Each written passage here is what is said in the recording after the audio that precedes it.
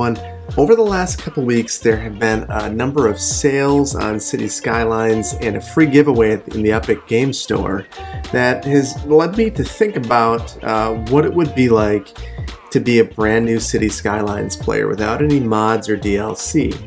And uh, that, that's made me want to create this video to show you how to begin and grow to a city of uh, about 10,000 people uh, if you were starting from scratch. So today I'm going to build this city on the Two Rivers map, which is included in the vanilla base game, and I'm going to work on this uh, completely vanilla map and show you how I would begin. I'm going to explain everything as though I anticipate that you've never played the game uh, before, so if you have, this might not be the most thrilling tutorial for you, but if you haven't, this might be really helpful. So to start out with, whenever you're building a city in Cities Skylines, you end up with one way into the city off a highway. And uh, one of the struggles that people have is you don't have a highway connection to begin with. In fact, you don't have any collectors or arterials either. But truthfully, this isn't much of a problem. In fact, I think it's, it's kind of a good thing.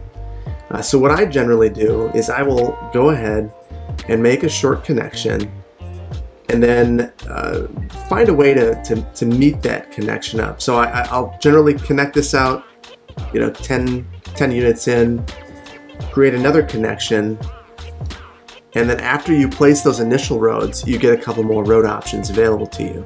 You get gravel roads and you get one-way roads. Now, what you're going to notice is that I'm going to initially build mostly gravel roads, but coming into the city, I'm going to start with these two lane roads.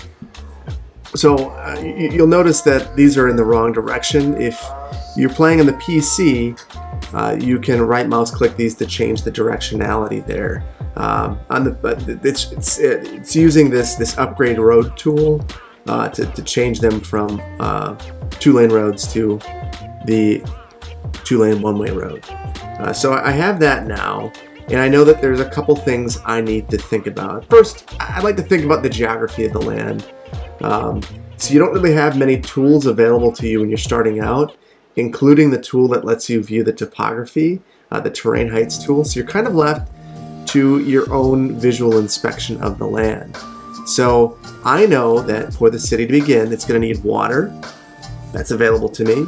Sewage, power, roads, and zoning.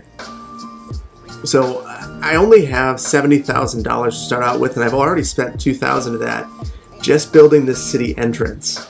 So I do want to be thoughtful and careful about the way that I start the city because I think it really lays the foundation for everything that comes after it.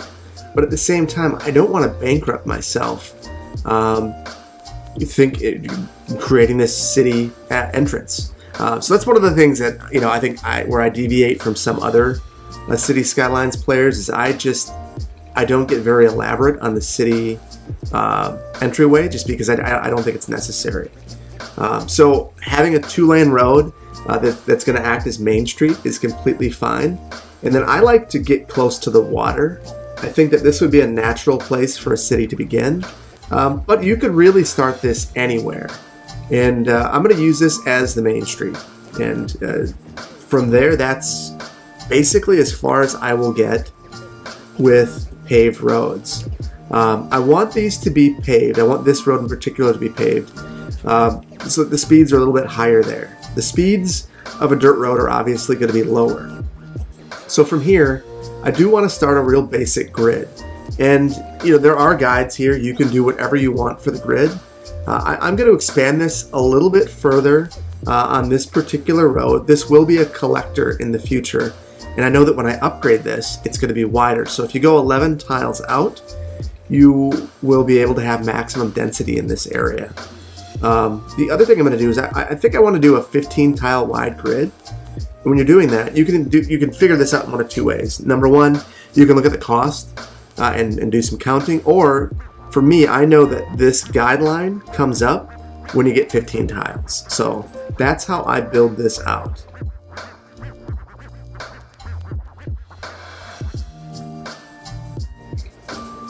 So just a real basic grid, and you might wonder what I'm gonna place here. And we have a few things available to us, residential, commercial, industrial.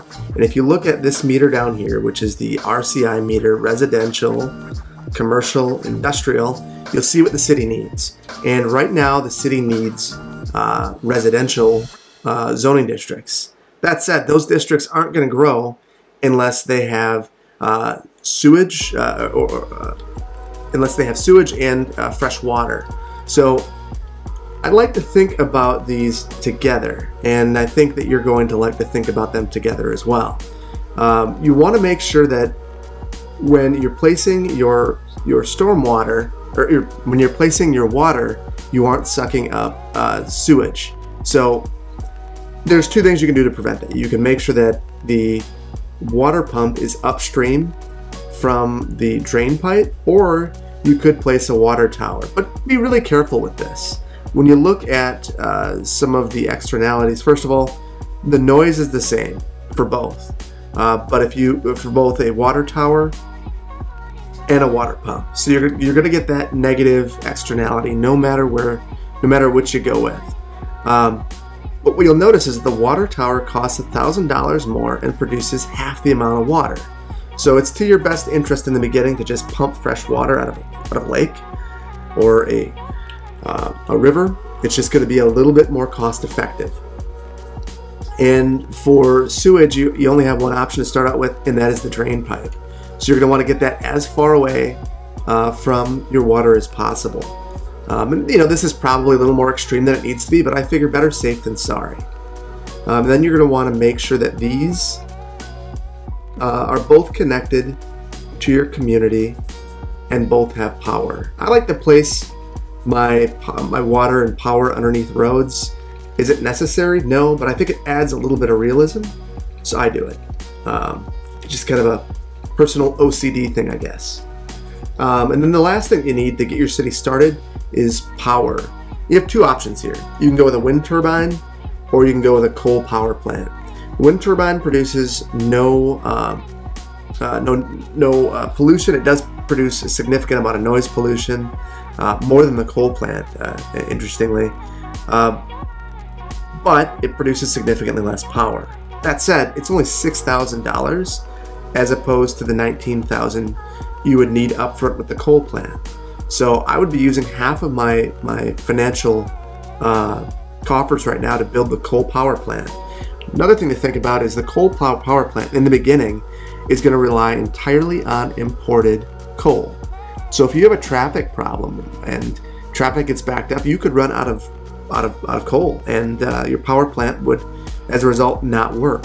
So I like to start out with uh, windmills quite frequently because I just think they're a little bit more effective in the early stages of the, of the game at, at protecting not only your finances but also kind of just keeping the infrastructure uh, in the right place uh, in relation to your budget.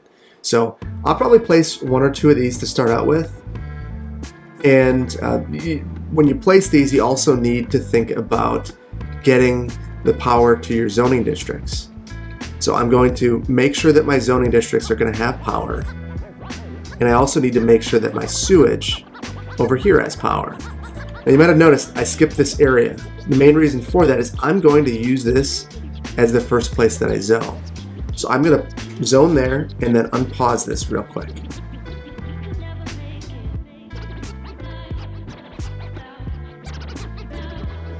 Okay, so this is what I was hoping for. Uh, because I um, zoned this entire area, it filled in with property and those properties uh, act as power lines. Uh, they can uh, share, share power from a, bu- building that's directly adjacent to them. So as a result, I don't have to place a power line um, in between these buildings, and I save a little bit of maintenance costs there. It's not significant, but you know, a little savings is a little savings. So why not go for it? So I'm just going to continue zoning to try to meet the RCI needs. And eventually, like right now, you're going to start seeing that we have commercial and industrial needs that are that are that are coming up. So I like to place commercial along the main drag. Um, Commercial definitely needs traffic to, to be successful, and uh, this is a place where, where you could accomplish that. Uh, it also makes it so that all of the residential properties can walk to uh, shopping and, and, and, workplaces eh, relatively simply. So I, I like to go and, and, do that. Uh, also, we're seeing that there's some industrial demand as well. So I am going to start to build out my grid again, proceeding uh, 11 tiles up off the main street and 15 tiles over.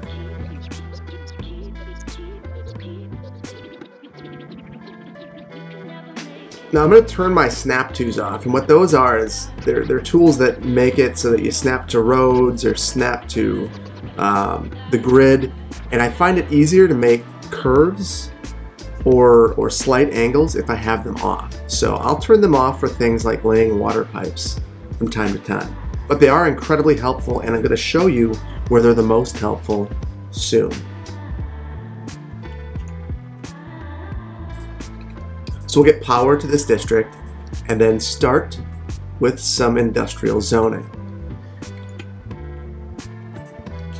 Now, one of the things I could have been really careful about here is, well, I actually, I, I got, oh, I didn't get lucky. So I could have tried to line these up perfectly.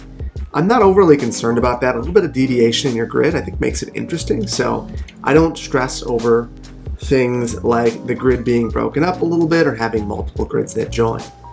Um, so in the beginning of the game, you only have a general industrial district, district available to you, and you don't have the ability to view your resources, which is kind of a bummer.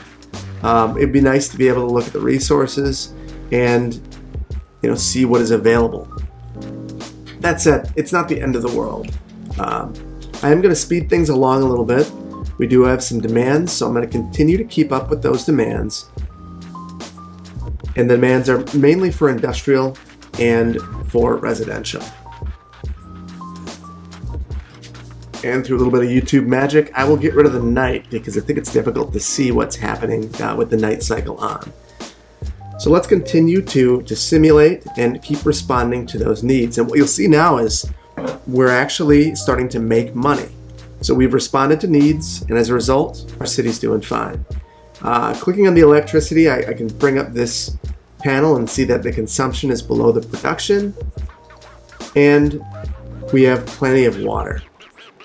Now, while we're while we're waiting for this to fill in a little bit, I do want to mention when I placed this windmill, I placed it in some of the darker area.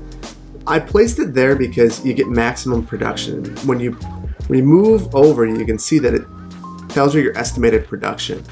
On a hill, you're going to get 8 megawatts, which is as much as you're going to get with a windmill. So uh, it's, it's important to keep that in mind, and it's also important to keep these spaced appropriately.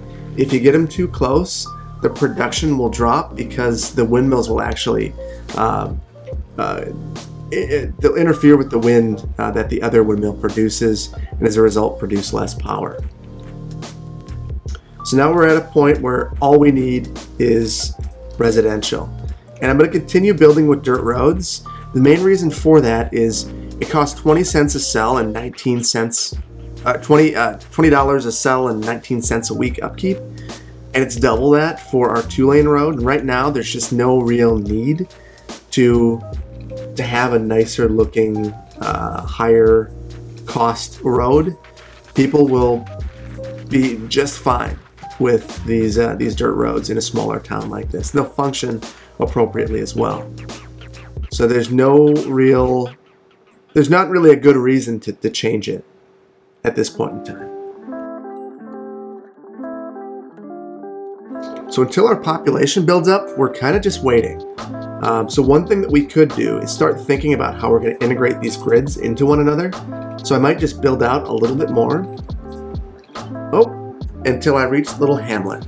So a population of 420 people gives us the ability to build garbage, healthcare, and education, uh, change tax rates, and take out loans.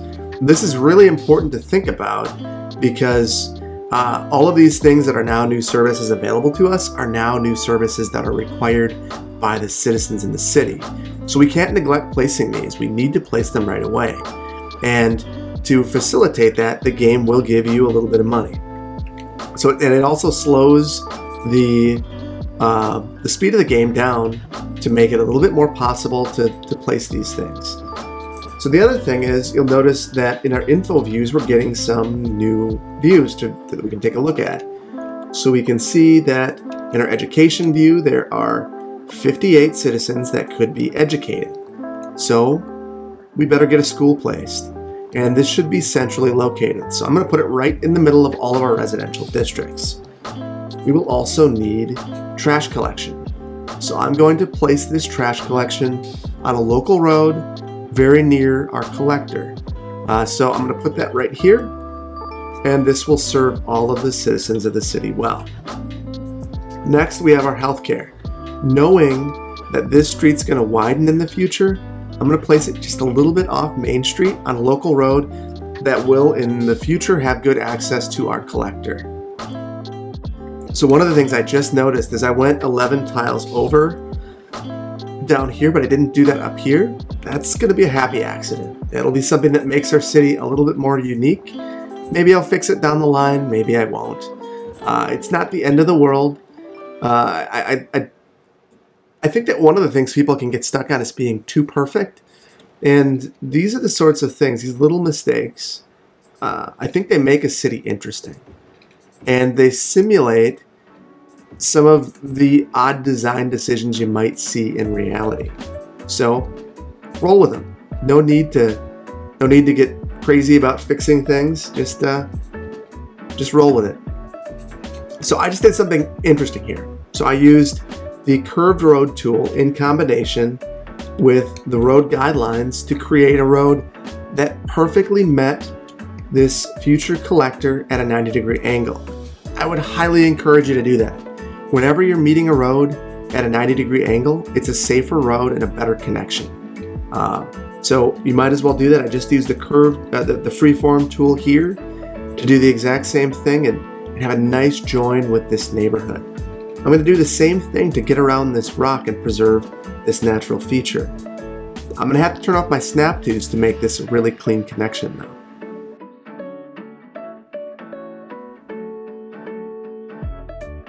So it got a little funky there, but we preserved the natural landscape that we, we have been given, and I think this could be a unique space as a result. We don't have uh, any of the DLC, so we're unable to turn this into a formal park space, but there's no reason that we can't just make it an interesting place for our city, uh, our citizens to walk by, a place that you know we just enjoy looking at. So that is the sort of thing I will do. Work with the landscape when you can. And obviously in the early game, it's easy just to grid out and uh, it, honestly, it makes a lot of sense. Grids facilitate rapid expansion and that's why they're so popular um, in a lot of newer cities. So we've got all of our needs, our new needs covered. So at this point, it's just responding to our RCI meter. And I know that there's no need for commercial, but I know that I'm going to want to put it here in the future. So I'm just going to leave it there anyway. And just build out our residential area. Also going to lay water pipes.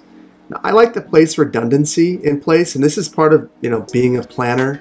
Um, that redundancy means that you could work on water pipes in the future and not need to cut off water to an entire neighborhood. But in the game, it's helpful too, particularly if you have natural disasters, um, because it would give you the ability to have a natural disaster occur and not need to completely, uh, it, not, not completely sever uh, water from a particular area. I noticed that the RCI meters slow down for a while. And what that might mean is that you're missing um, a core city service. And, and for us right now, that is power. Our water's still good. We have lots of water production um, using the facilities that we have, but our power production is lower. Now we do have the ability to look at sound now, and you can tell that these power plants, they have a lot of uh, sound issues that come with them. So I am going to move that as a little bit further away from the city and try to spill some of that noise over in areas that don't matter as much to the city. Just want to make sure it didn't impact my other turbines, so we should be good. At this point, I'm going to turn the simulation speed up. We've got everything placed that we're going to place now, and at this point, we just want to fulfill our demand.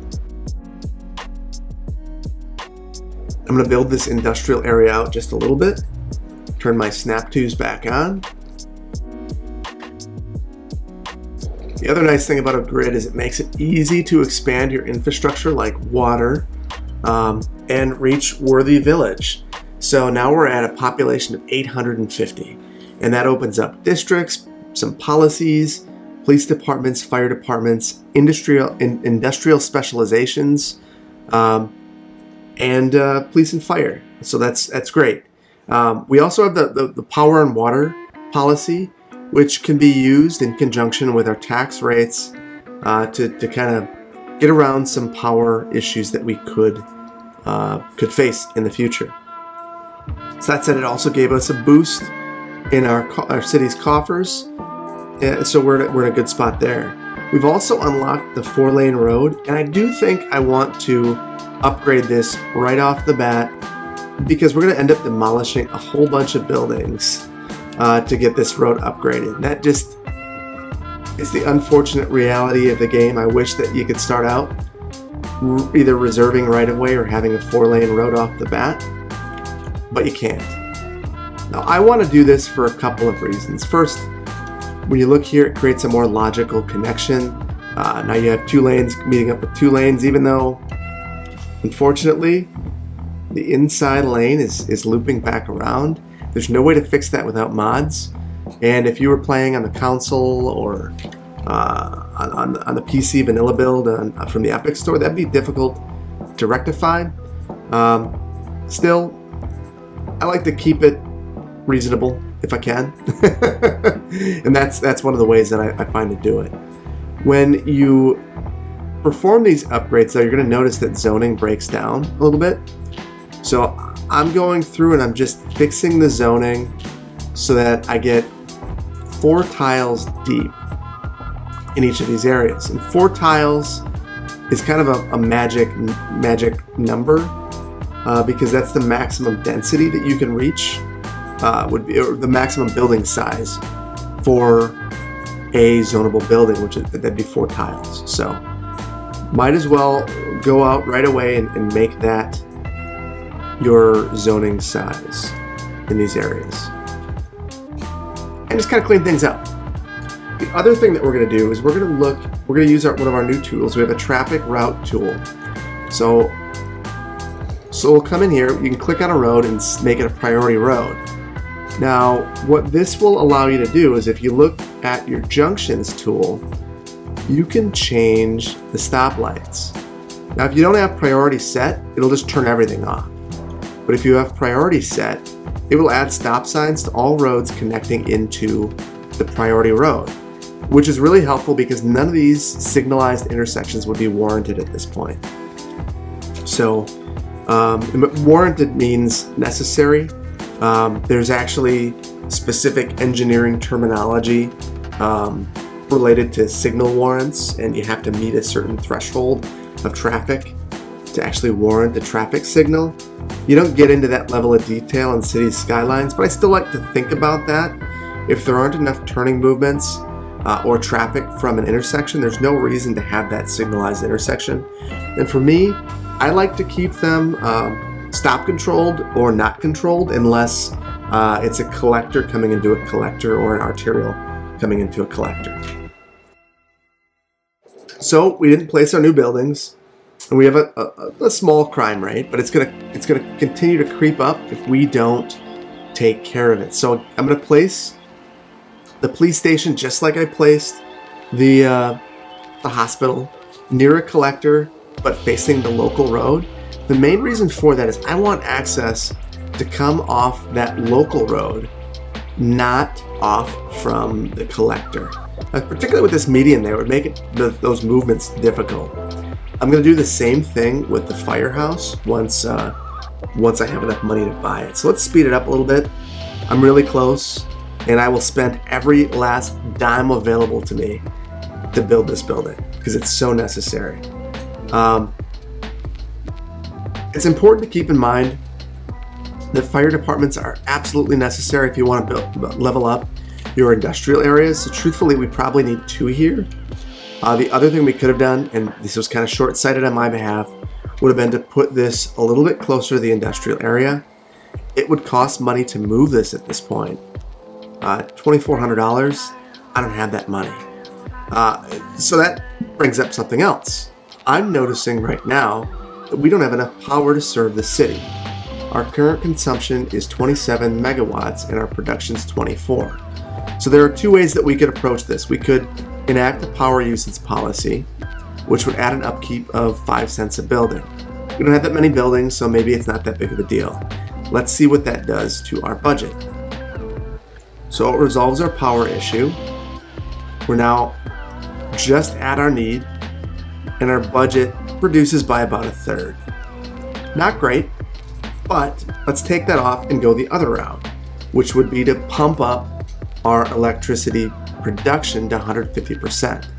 Now, what that does functionally is it takes these wind turbines from producing 8 megawatts of power to 10 each. So, we're now at 30 megawatts of power, meeting our needs, but it's costing us 50% more than it otherwise would. So this is not a good long-term solution. This is a way to get from uh, having no power uh, or not enough power to, to building your next power plant. So it's something you should really use sparingly if at all possible. $6,000 a power plant, I'm gonna place this thing as soon as I can. Um, again, let's look at our sound because that's gonna be the, our, our, our biggest limiting factor here. The commercial buildings can deal with it, the residential buildings cannot. Let's make sure we're connected. That was a really, uh, that, that's close.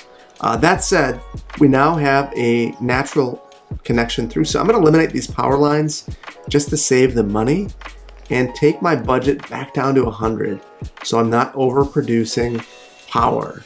Uh, if money was more of an issue, I could reduce that uh, the budget associated with water treatment as well. I just I don't see it as a big issue right now, and I'd rather not think about that in the future. So interestingly, our power consumption is still above our production. And I know that we're going to run into some issues with sewer backups and ultimately people getting sick and going to the hospital if we don't pump up our power. So I'm going to pump that up temporarily.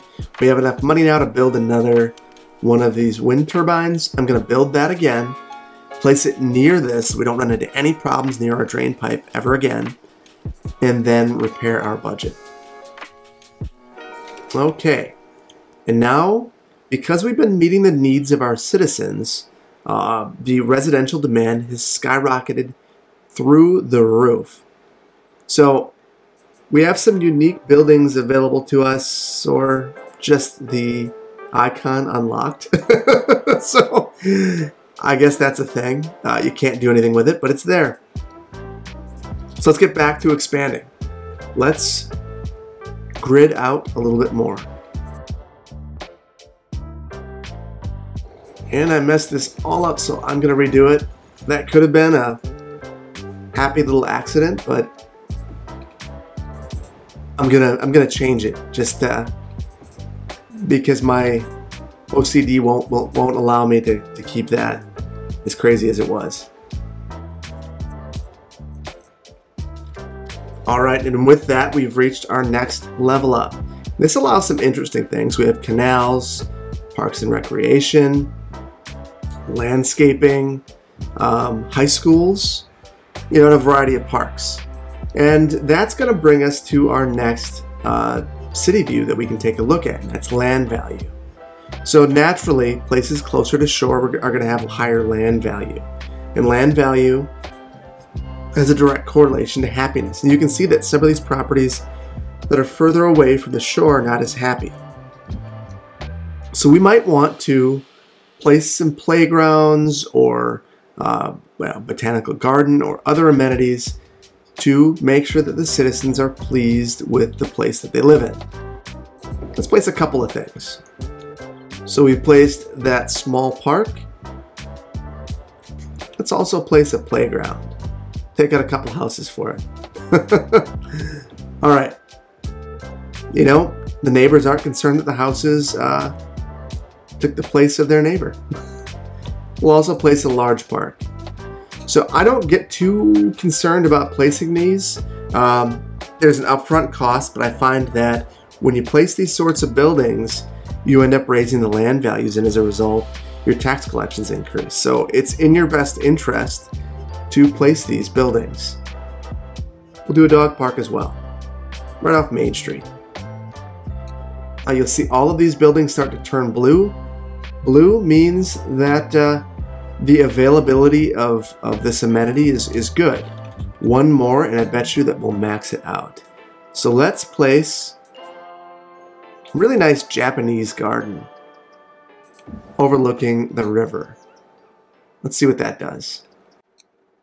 Here we go. Locally, this area is maxing out. Now, the Japanese garden has a, a lower radius than some of the other buildings, and if you look, this little green line, uh, that's that's really showing the, the impacted radius. Okay, so we have some other buildings that we haven't placed yet. So we have high schools. Um, I think that's about it right now. But we also have some other districts, uh, industrial districts that we have in place. And now that we have industrial demand, I'd like to take a look at those and give that some thought. So I'm going to click on this natural resources view to see the resources available to us. Now, it looks like we have, at least in our main area, we have forestry and fertile lands. Just over to the east, there are some ores available. That said, when you click into your districts menu, you'll see that you only have farming and forestry available to you. Ores are locked until you reach a population of 2,400. So let's think about those districts a little bit. So I'm going to click on this natural resources map and use that to create a grid for these areas. I'm going to completely deviate from what I have been doing. This will provide some visual interest and allow me to kind of mimic area for these districts a little bit closer. So I have that grid and I'm going to start out right off, right off the bat by painting a district. So you go into the districts menu, go into district painting tools, and I like to follow the roads to make as clean a district as I can. Now, this is a tedious task. I wish that you could just highlight an area and create a district. Um, you know, you, you, know, just kind of fill it in, but you, you can't. So then you go to your industrial specializations and you click on the one you want and click on the district and, and there it is. Those are the buildings that'll develop there. If you want to rename it, you can click on the, the name and, and give it something else. But I'm going to leave it. I'm not overly concerned about that right now. I do want this to fit in well with the community that I've already developed. So I will use dirt roads to join this up, use the freeform tool, meet one of the nodes, and have a nice clean connection so we have a curved road meeting up. This will form a nice, interesting grid in the future. You also need to zone this area, provide it with water and power, and then it will start to develop. So one of the considerations here is that now this district uh, is going to almost entirely rely on this local road back here, or this series of local roads, for uh, getting traffic in and out of the district. And that's not ideal. So I think that we're going to want to improve that in the near future. I'm also getting a little bit tired of struggling with power, uh, so I think it might be time to place a coal power plant. Now, similar to the industrial districts, I want to place that near the interstate away from the residential area so that the first district served uh, is, is the one that has the power plant. So uh, the power plant is the first thing off the highway now, so we know that we'll never have issues with power, at least as long as this is the edge of the industrial district. Now let's extend this out a little bit. So it's no longer the edge, I suppose. and uh, the reason I, I want to do this is I want there to be a new collector in this area. And this collector, I think, is going to be entirely different than our grid that we have established. And I'm going to use part of Fawn Square, our new farming district, as the boundary of that collector. So this will be another east-west co collector. And this road right here that we created that turns, that could be a north-south collector. So to remind myself of this, I'm just going to upgrade these roads. This will also formalize this route as a destination and, and, the, and the main path that will be taken to get from any other part of the city to this area. I also want to be, just want to double check that signalized, not interested in that. Another interesting thing that I learned uh, not too long ago is you can change roadway, uh, if, if you're naming the streets, you can click on a road on, on the adjust roads tool, modify its end location, and name the road uh, based on where this ends. So something else to be aware of.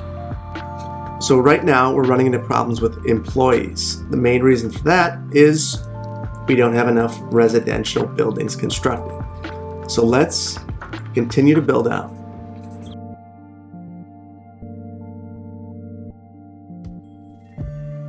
So I initially was going to keep this a little bit separated from the, the, the future collector, but I figure why?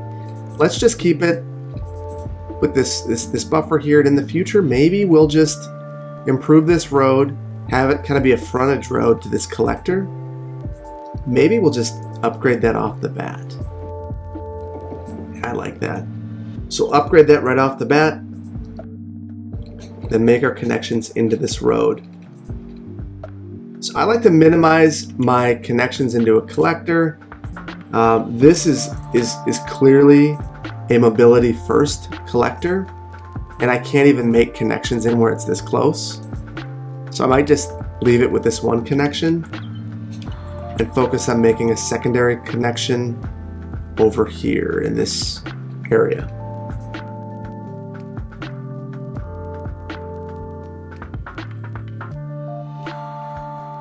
Okay, and now that we have landscaping tools available, if we wanted, we could, you know, get fancy, plant some trees down this little area right here, whatever we wanted to do to make this a little bit more interesting. So lots of options here. Uh, I just chose a simple one. I don't think this is particularly attractive. It's it's very symmetrical-ish and kind of boring, but it works. It's something. Um, one thing that I like to do uh, sometimes, and I don't know if I have the availability to do it here. I do not.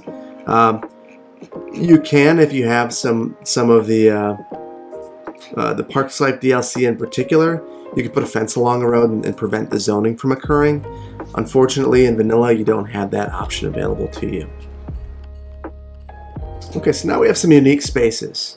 And I, I like these kinds of spaces because they are what makes the city unique. So I like to use the freeform tool to create uh, some some grids that are, that, that kind of blend into the to the environment that we've created. So, you know, create some interesting spaces. Fill things in with trees. Make it make it more interesting than it than it is right now. So let's plop some trees and make some, uh, place some residential districts. Again, that's still our, one of our top demands.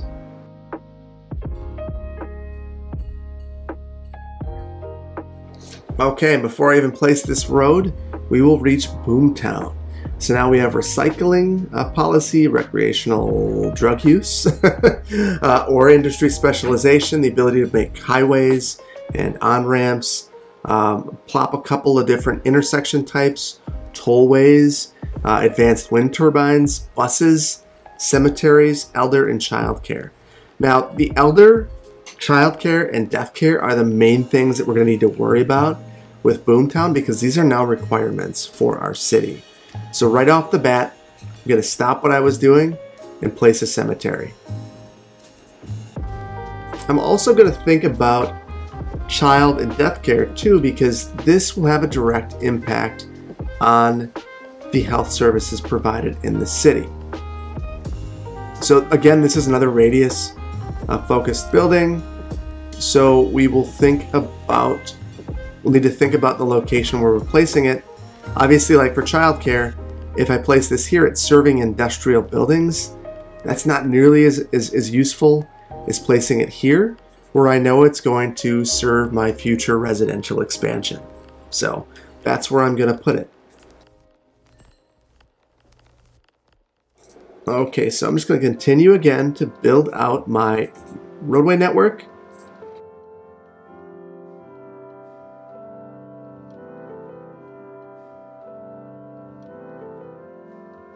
And you can kind of see having this area just a little bit different creates a unique development pattern, which I think you know is really, really cool.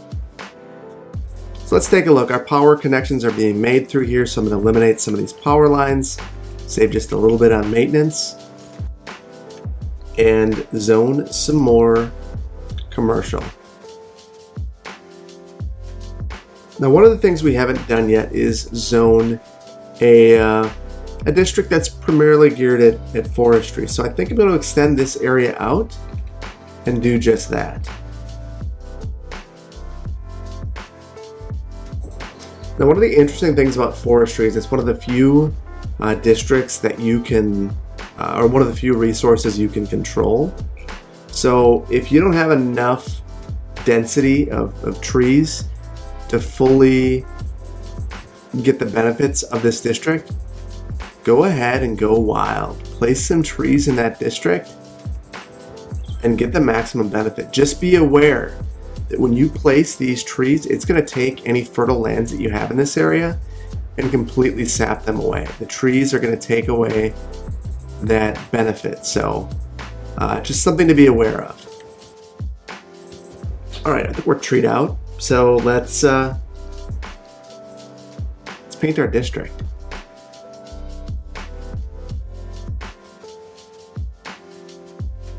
Hillside Hills, and it's flat. All right, well, Hillside Hills it is. Good enough for me. We will zone that, but we need to make sure that we set our industry specialization or we'll end up with things like goods unlimited. No, you are not welcome here. Sorry. and again, I'm going to formalize this as the collector by upgrading that road. In the future, I'll probably want to upgrade it to a four lane road.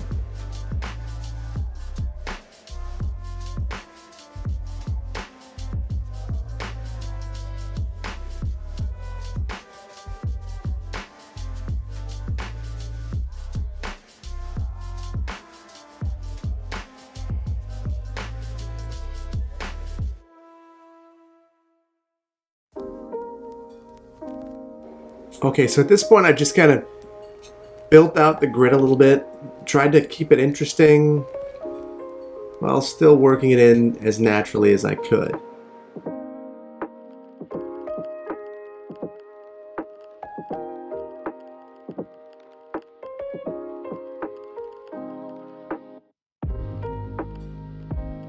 Okay, so I, made some interesting roadway connections here and things are for the most part connected up well.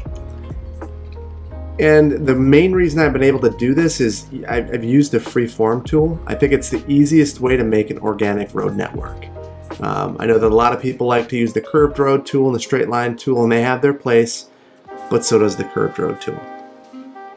So I'm looking at this park and I'm realizing that I, I, I want to make some connections to some of the paths in the park. And the neat thing about some of these assets is that you can. So that's something I just wanted you to be aware of. With some of these park assets, you can actually dive right in there and make connections if you want to. So don't feel like you can't. You can integrate them a little bit more into your cities by doing so. So Not a lot going here based on the location. This might actually lead me to want to center this park.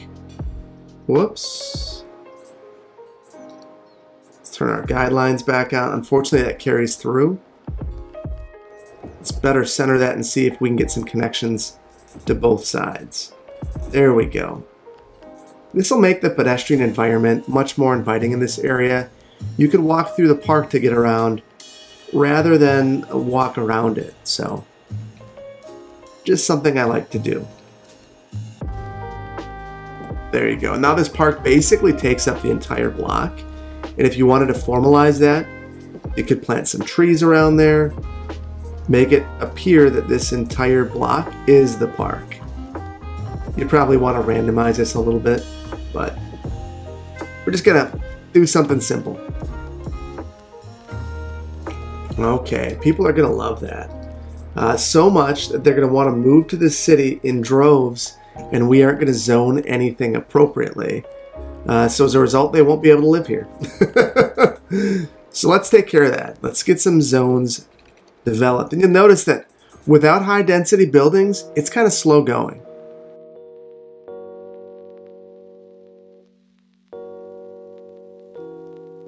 And let's speed this up as we add some of these districts. The nice thing about both forestry and farming districts is that they're pretty compatible with residential uses. Let's take a look. So right here we have our pollution, nothing really to speak of. Uh, our sound pollution, we've got some of that, but nothing that these residents can't handle. If it were too much, we could place a row of commercial or in the future offices even better to uh, buffer from these uses. Very good. So now we kind of just want to go through and make sure that we're meeting all of our city's needs. So we can tell that we are not meeting the elementary school need and we're certainly not meeting the high school need because we don't have one yet. Let's place a high school and then we'll need another elementary school so that all of the citizens are served. Death care is fine. Health care is okay. We could probably use another clinic over on this new in this new part of town. Elder care is fine. So our, our, our most pressing issue is, is likely elementary schools. Place another one of those. I think jail availability is probably a close second to elementary schools. So we will get that ready as soon as we have the financial uh, wherewithal to do so. So at this point, we could wait or we could take out a loan. We can also adjust our, our power and water. I notice that we are at the edge of our, our electricity availability. Same thing with water, so we're going to need to, to focus on that soon. Luckily, we're about to level up and hopefully get some some money that will help us move forward. So that's one of the things that you got to balance when you're first starting out. A new city is you got a lot of needs and not a lot of money. Everyone loves feeling safe. surprise, surprise. So I do think that we are just going to increase our budgets to get by at this point in time. So we're okay now on power and water. You see the city's looking pretty good. Okay. I am happy. We do have some more industrial demand. So let's build some general industrial to satiate that demand.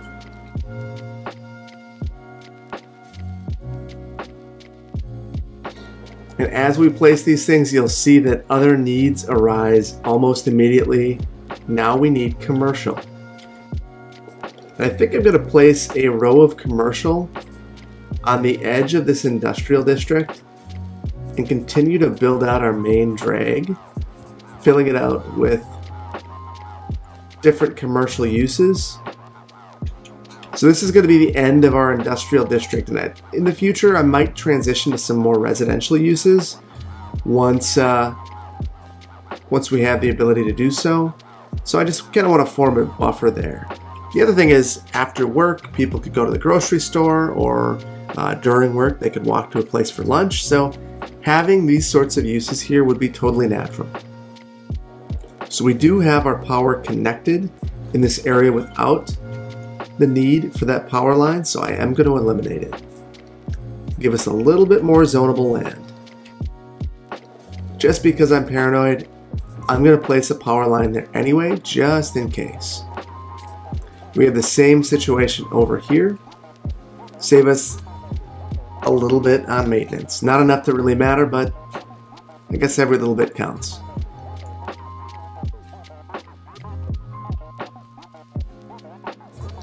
I think I'll plan a little uh, commercial district over here. Separate from some of the residential uses and provide people a place to walk to and shop at. So not a bad, not a bad use. And now we're kind of in this weird lull where we are just kind of waiting for the city to grow and reach our next milestone. And we're so close. In fact, I'll take this screen off and watch it get there in now. All right, there we go. So now we have our, our uh, oil specialization, level 4 unique buildings, city planning policies, including free public transportation and a heavy traffic ban. And uh, we have some more roads available to us, arterials, and, and some of the four lane roads with trees, which would, would help uh, deafen some of the sound pollution that you might, might encounter in some areas. Uh, the roads that have uh, grass medians or grass, grass terraces uh, will limit parking, so that's something to keep in mind. They do look nicer, uh, but there's no parking available on those roads. Then we have some other buildings available to us. Tropical Garden, which would look weird on, on, a, on a temperate map like we have here. A large hospital, oil power plant, large fire station, and a police headquarters. So some really useful buildings are now available to us.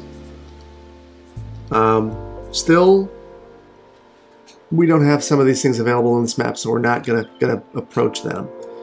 So we're just gonna continue to look at our RCI meter and continue to meet the needs of the city. Uh, still no new buildings outside of these these larger buildings available. That said, we do have a need for a fire department, and I do think having a large fire station near the collector, but not on it, would be a benefit.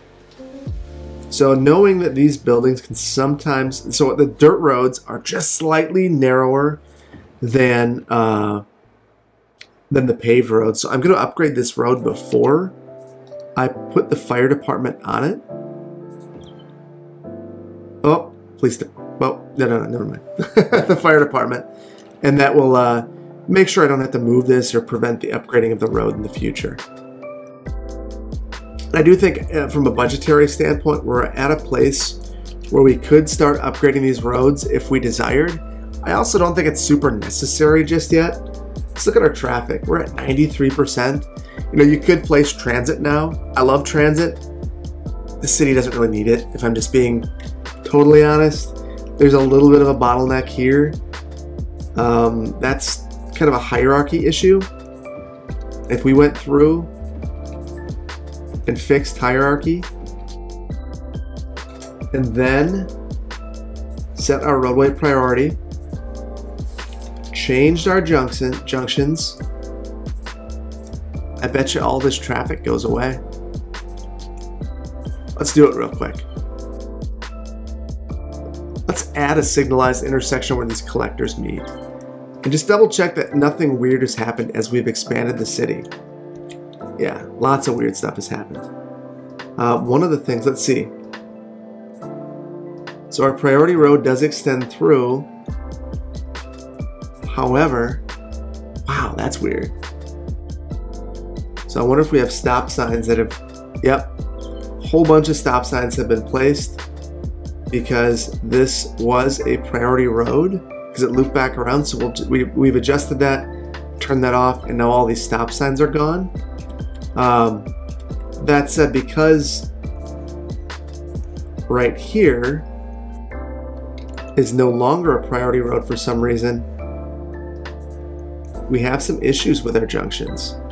So I'll just adjust that priority road, come back through, and make sure that we have stop signs. So good there. Then let's look at our zoning districts. Like I said earlier, when you upgrade roads, they can get messed up, and they certainly have. Okay, so we are in a better spot there. Now we have demand for basically everything again. So knowing that there is uh, commercial need and we want to provide some buffering between the whoop between the commercial uses and the residential or the industrial uses and the residential uses, I'm going to place uh, some commercial uses along this collector. On the other side of those commercial uses, I will place some residential uses. We should also take a look at our park space. We've placed a lot of new residential uses and we don't have enough park space, but I suppose the more pressing need is power. So let's make a decision between a coal power plant and an oil plant. We don't have either of the resources available to us, so we're going to be importing it. So the pollution with the coal power plant is greater than that of the oil power plant. The oil power plant costs more upfront and significantly more per week. That said, the power output is three times higher, so maybe it's worth it. It's more than it's more than three times the upkeep cost, but we'll diversify. Um, if for no other reason than to, to take a look at the buildings. There we go. Another power plant again in close proximity to the interstate. Now there's some stopping here. You might wonder why that's happening. When I changed the priority of this road, it added a stop sign right here at this junction. So let's get rid of that now. Before so, let's look at the traffic. We're still at 93%, even with this bit of craziness. Turn that off, everything's flowing well again. Traffic up to 94. Maybe we'll hit 95. Nope, back to 93. That's fine. And our, our, our residential demand is again through the roof. So I want to start to mirror the neighborhoods again so the road guidelines are the tool that makes this really possible. So I am going to use that tool to, to create neighborhoods that are identical on the other side of this collector to the ones I created south of the collector. And then I'll use my free form tool to line this up. The other neighborhoods that I've created. just kind of an opportunity to make a unique road here. So I think I might just square this up and send this off and use that as a way to kind of make a unique gateway into the community. And then I'll I'll round this off a little bit, this uh, roadway connection. Okay, so I did mention that I want to take a look at parks again, park space, make sure that we have enough, because I know that we don't. And I think it might be fun to, to place a bigger, more unique park space. So we're going to place the botanical garden. We will put place the rear on the collector and have this building facing the local road. You could have this face the collector. It's probably a little more natural, but from a loading standpoint, it's better to have it off the local road. You can see the buildings around this. Absolutely love it. Leveling up. Going to a level 3 building.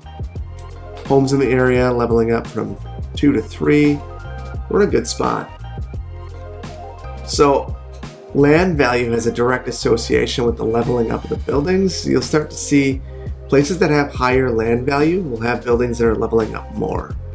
Difficult to see right now, but it will become more apparent in the future.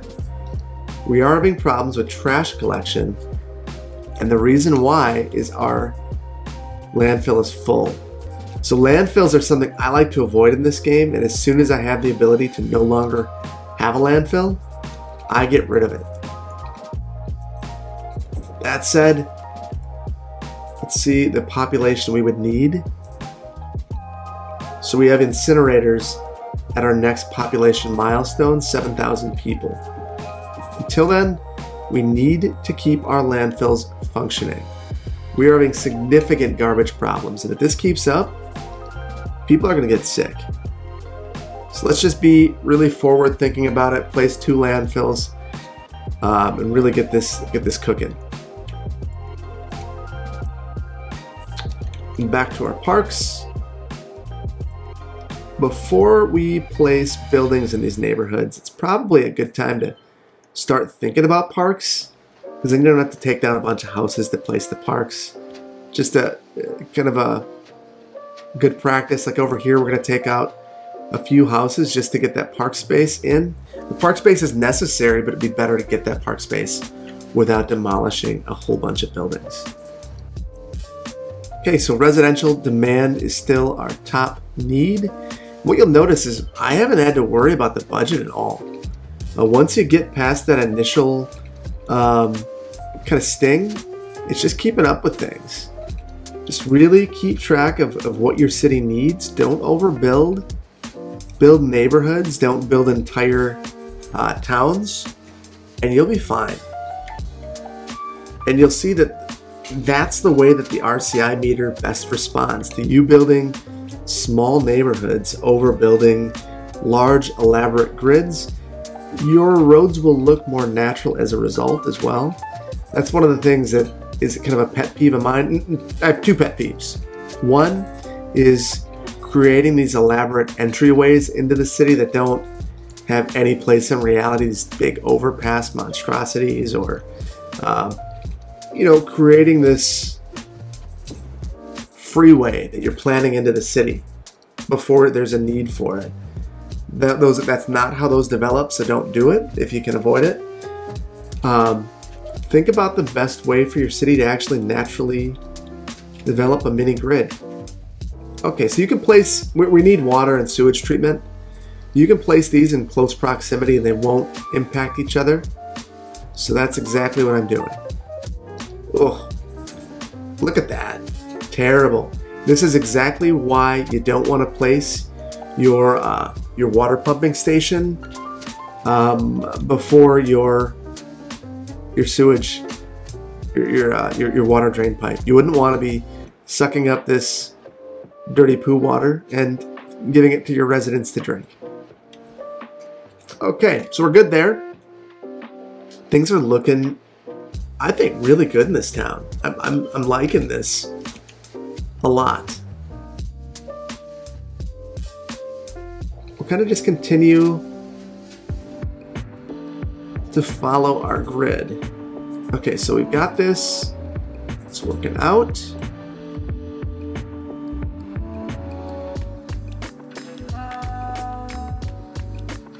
It's kind of something, so I'm just kind of, I'm kind of, uh, at this point, just kind of doing what feels interesting and good to me. And that's creating little pockets of commercial activity in neighborhoods.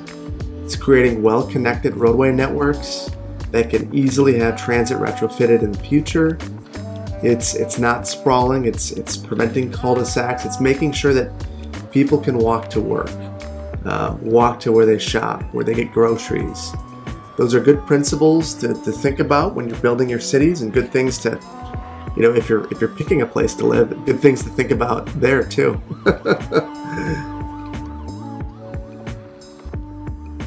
Okay, so commercial and industrial are our greatest needs again.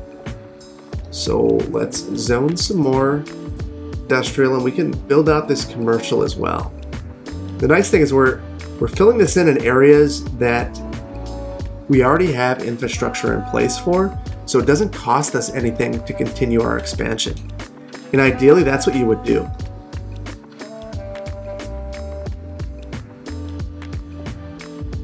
So you can see I'm also creating a fairly predictable development pattern so that uh, when I do want to expand, it's it's not difficult to do. It's It's a fairly simple process. The land uses are well laid out and predictable again. I'll make a couple connections into this neighborhood. I don't want to overdo it. Maybe even just one.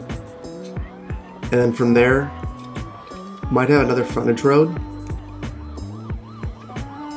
And maybe keep it a little more interesting in this area. Why not have a trail going through here? Won't really serve a significant purpose, besides to keep it interesting.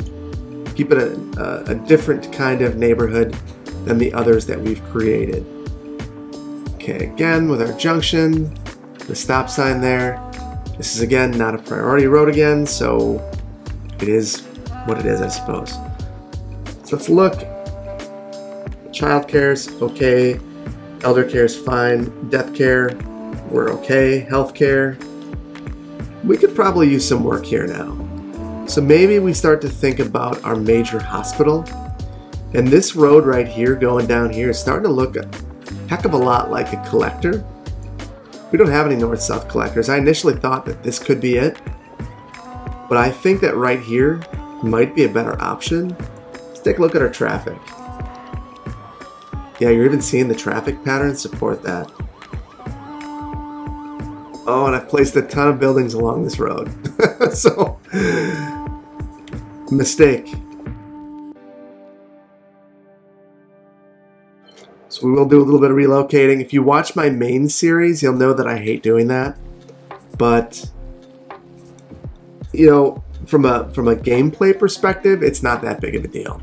Um, your uh, your Sims will forgive you.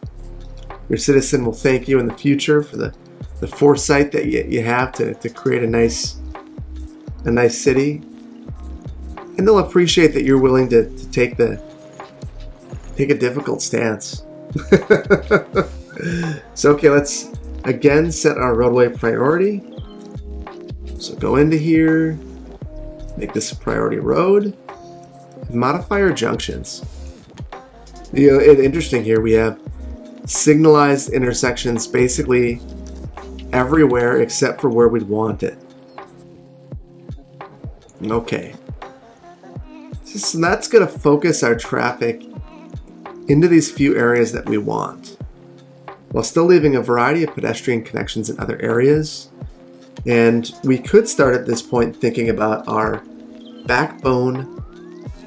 Uh, oh, actually, we don't have the ability in the vanilla game. I was going to put some bicycle connections, but we don't have the availability of the bicycle network in the vanilla base game, so we're not going to do that. All right, so I do think it would be a good idea to continue to build out. Maybe we'll make a, a regional shopping destination over here.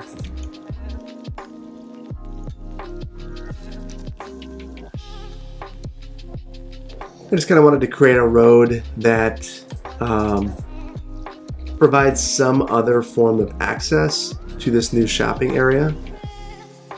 Not entirely necessary, but I think it's good to have redundancy. You don't want to focus traffic too heavily on any one area. And I find that that's something that, you know, can be really attractive to people. Focusing all that traffic in one area, having one big arterial going down or one collector and, and using bike paths uh, or pedestrian connections everywhere else. And you're really doing yourself a disservice when you do that. Having multiple connections is good planning and will mean that people take multiple routes, especially in the game where they're taking a look at the shortest route that's that, that also happens to be the fastest. So because I am who I am, I am going to move these water lines because I would otherwise have to dezone to keep the water pipes under the road. Not necessary again, but I like to keep it real. Industrial, again, is our main city need. So let's build it out. They might have wondered, why am I following the same grid pattern for this industrial area that I'm using for the rest of the city? It's wholly unnecessary.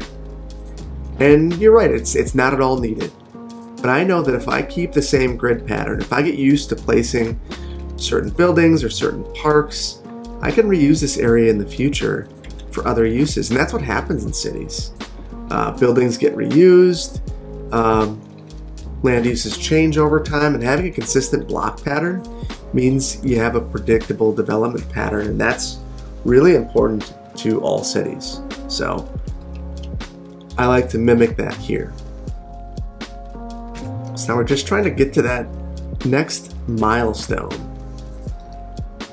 which is 7,000 sims. So I am going to use my curved road tool to mimic the distance on this road. I know already that I want to have roads that wrap around here in the future without making too many connections. So I'll just make a nice clean curve there. And again, this is all the freeform tool with road guidelines. You, it's, it's the most powerful tool in the game in my mind if you, if you learn how to use it. Takes a bit of time, but it'll so dramatically improve the look of your cities. It's worth it's worth figuring it out.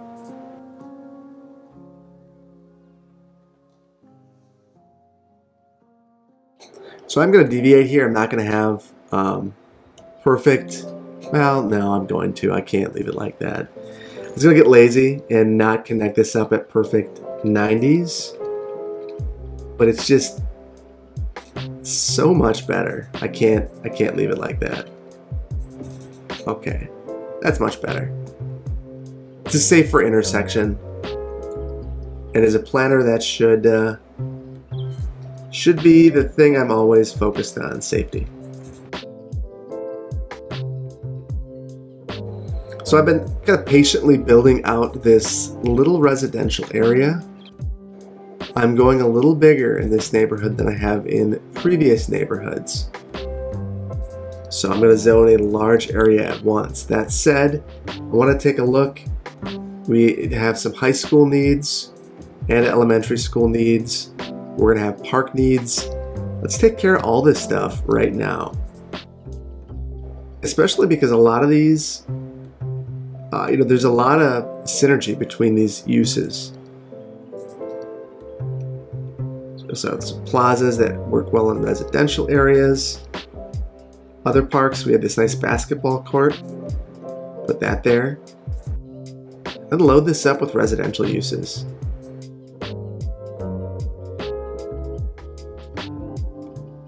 and right away get to Big Town. So this is really important because it gives us some new options. So we have a whole bunch of policies that open up to us, taxation, uh, level five unique buildings, high density residential, commercial, and office, as well as fishing islands and a university and the incineration plants I talked about. So a lot of different ways you could take your city at this point. The most important place to take it in my mind is getting incineration plants. I'm going to actually place two of those and start emptying this landfill so I can eliminate it. So you click on the landfill, you hit this middle button here, and it'll begin emptying this landfill into these incineration plants. So I think that's huge. We have a lot of money right now, so there's no reason not to just bite the bullet there. Okay. Next up, we need to start thinking about some higher density buildings. So I think it might be neat to have a row of higher density buildings along the shore. And I'm not really respecting the topography of the area. Probably should be. Um, but I'm not, so I'm just going to continue to roll with that. Let's put some high density residential right along here. And some higher density commercial as well. You might wonder why I didn't place any offices. There's one main reason for that, and that's we don't have universities. And without universities, you can't build uh, any office districts. You have to have educated employees for that. And one thing that's interesting about office districts is that offices are actually industrial in nature. I didn't realize that for the longest time. Someone pointed that out to me in the comments, and it blew my mind. Uh, but we have a whole bunch of um, industrial zones right now, we won't need as many of those if we start if we place a university and start building offices. So that's precisely what we're going to do. Uh, this is a large building, so I'm going to place it in this residential district near near these collectors to provide a great deal of access. And uh, once we have that, we'll start to see some Sims going to school here. Now, if you don't have Sims going to your university, it's because your pipeline is broken somewhere. You have to have elementary students that are going to high school and high school students that go to the university. You're missing high school students, you won't get anyone in your university. Libraries boost your education, but don't, uh, they aren't totally necessary. Um, and they're large buildings, they're tough to place, so sometimes I just skip it. I'll put one here next to the university though. It's, it's a good location for it. And uh, I think it, it goes well with some of these other educational buildings that we've placed in this area. I am going to speed the simulation up. We did lose a lot of population with that series of choices. So uh, let's get that population back.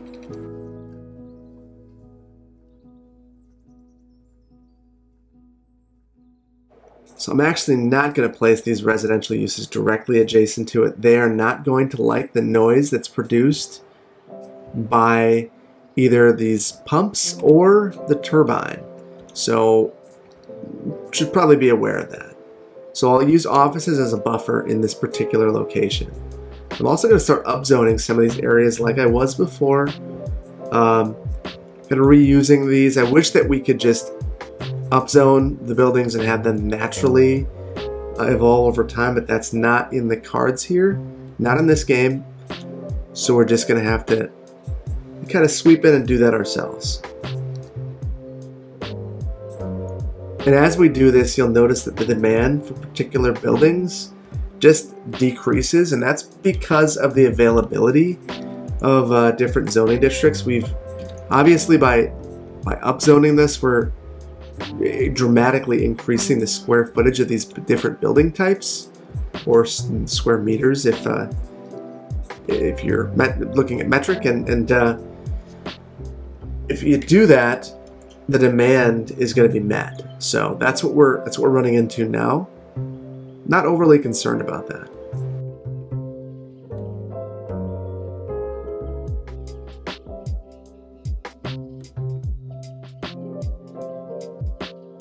Okay, so I think I've got most of what was here rezoned to a higher density zoning district. So what you're gonna see now as we go about this, besides not having enough water,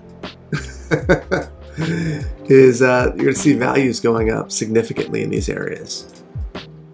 So let's take a look in just a moment. So yeah, as we place these higher density buildings, the land value increases, which makes total sense.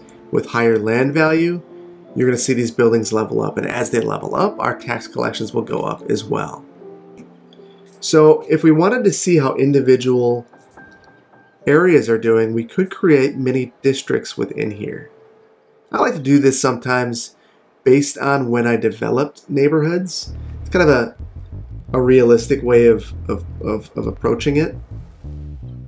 So you could create a couple of different neighborhoods like this.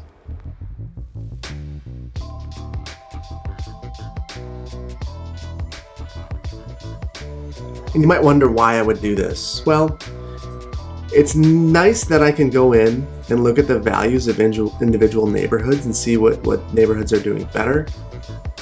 Obviously, uh, when, I, when I do this, I can see that Moore Square is significantly more valuable than the surrounding areas. And I can dig into this more and try to figure out what makes this such a great neighborhood to live in. Might be the park availability, might be, uh, yeah, it looks like it's, it's kind of in the middle of all these parks. It's got, uh, well, poor school availability, but it doesn't mind that. so, yeah, I mean, there's a number of factors that go into that. Um, but it's just something that you can be aware of by, by, by doing this. But you can also apply policies to individual areas. So let's say that we wanted this area, because it had educational problems, include, increase the, the education budget in this area for the one school that was here and really give that a boost. Uh, we can also ban pets to reduce garbage accumulation in this area, uh, lower taxes, uh, or ban heavy traffic if, uh, if that was a desire, which in this area you might want to. There's no commercial, so why do you need heavy traffic in there? You could also do a district over this industrial area. You might wonder why I would consider that, and I'll show you why momentarily. So let's say you wanted to um, change the job mix, increase production, and uh, you had a lot of job availability, you could put the industry in, industry 4.0 policy on there. This district right now will create many more products, and it will serve. Uh, and, and the job mix at these buildings will change. So now when I click on a building here, it needs a whole bunch of highly educated employees and no uneducated employees. Across the street, the exact opposite mix, uh, and twice as many workers needed. So um, gives you some gives you some options there. These two landfills are both full. This one 1% full. Great. Once this empties, we can eliminate that. And it looks like both of these are working okay. Processing not in an excellent spot. This will improve once the landfills are gone though, so we'll just have to sit tight. Things get too bad, we'll have to build another another, another landfill. Although we're almost near the end of our tutorial, so we might not get there. I do want to take a look. What's our traffic look like? So we're at 89%. There are some things we could certainly do to improve this. Let's do one of those things right now.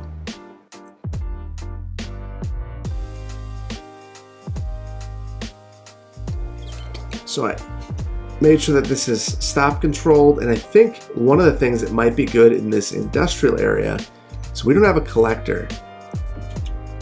So let's place a collector through here. Ah, small city. And that gives us cargo train terminal, hydroelectric power plant, train station, high-tech housing, industrial space planning, which is one of those policies I like to enable citywide. Um, so some, some good stuff.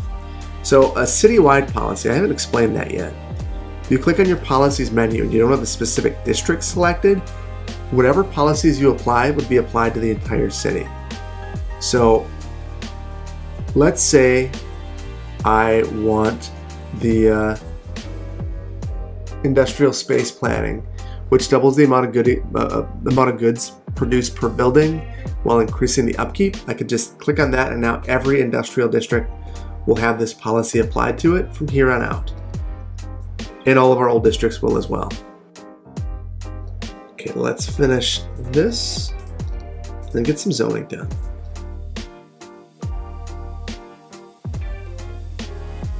And you're starting to see that we are having significant employment issues in this district over here, and that is because we don't have enough um, uh, highly educated citizens yet. That'll improve over time. For the time being, it's going to be a problem, and we are having garbage problems too. And this is kind of where you can get stuck. Um, you have these needs you need to meet. Sometimes you got to overbuild stuff to make it happen. Landfills are going to be that thing that I am overbuilding because we're way out of whack in our garbage processing because we've been emptying these facilities. And this will improve now that some of this is gone. And you can see it already. And once these both are, are done emptying, we're going to be at a great spot. Set up for the future. So, okay.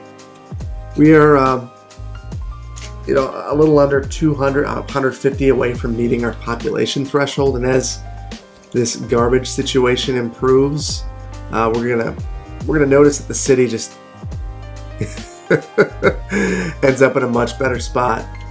I might actually just turn these off for the time being, stop the emptying, let the garbage situation uh, remedy itself, and uh, hopefully have some more educated employees get pumped out of this university because we are struggling. Let's see, need more schools. You know, as the city's densifying, uh, you're going to need more of these core uh, amenities available to you. You just see that things are just lighting up, bright red. One of the things I didn't do over here was change the roadway priority. That would be a very important thing to take a look at here as well. Especially with the density of trash facilities over here, you're going to want to make sure that uh, those trucks can leave quickly. All right. And I do see that we have passed our population threshold. I just don't feel good leaving this area without some of this stuff being rectified. So I'm going to continue to, to go to show you that it is possible to recover from some of these issues. And you see that there are problems with noise. Um, let's eliminate this. At this point, this will make people happy. Also, reduce some of our noise pollution by upgrading the roads, which would make perfect sense in a now high density area. And then uh, kind of look at our healthcare. Right now we have one clinic. It's not surprising that people would get sick and be, uh, be kind of stuck. So we'll build a proper hospital.